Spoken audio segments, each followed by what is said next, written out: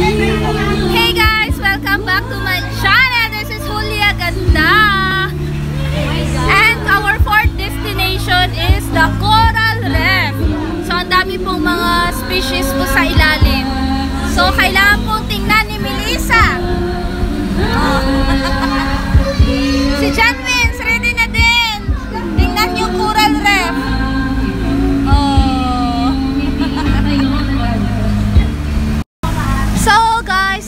The Coral Reef Garden in Talikod Island.